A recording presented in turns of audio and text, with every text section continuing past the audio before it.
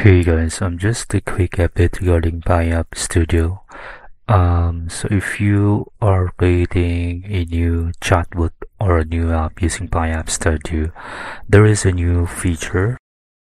So I'm just going to pass forward the video so you can actually see what feature I am talking about. So after you set the color of your chatbot, so you can now upload a logo for your chatbot or application. So it says here that the logo should be creative and should be 10, 24, 24 size. So let's just try uploading this one. This is just sample logo. And if we go to our next step, and once we publish this one, we can actually see that logo on top of our um, application. So let's try accessing the app.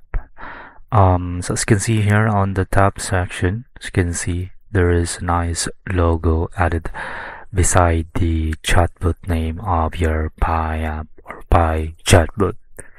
So basically that's it and thank you.